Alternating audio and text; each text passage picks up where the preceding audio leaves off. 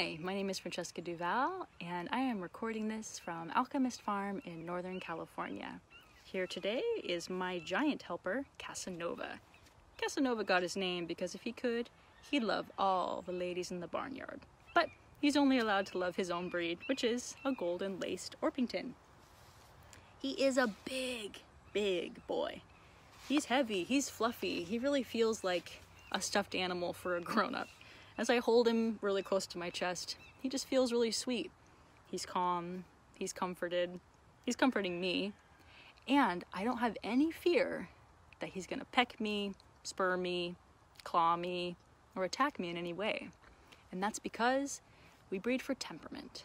So many people have horror stories of being attacked by a rooster when they were young and it's just something that people think they have to put up with that all roosters are going to be aggressive and mean and try and protect their hens and go after you and your loved ones. But me and Casanova, we're here to tell you that is just not the case. Chickens, roosters, all have the ability to cohabitate with humans in a really safe and sweet way.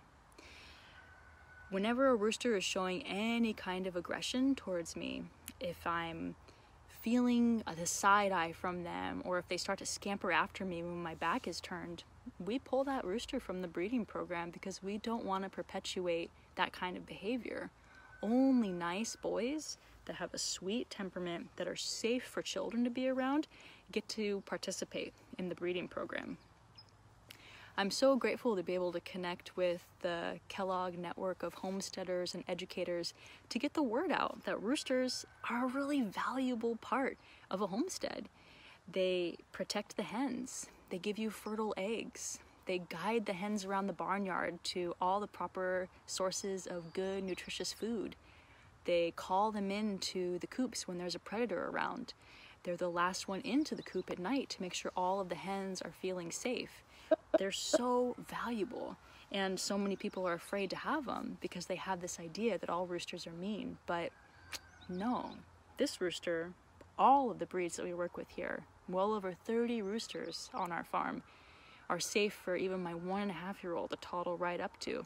He can pull grain out of the feeder, throw it on the ground for them. He can bend down and forward, and I don't for a second worry about any of the birds coming up and spurring him because we've bred for that we make sure to pay attention to the birds as soon as they come into maturity.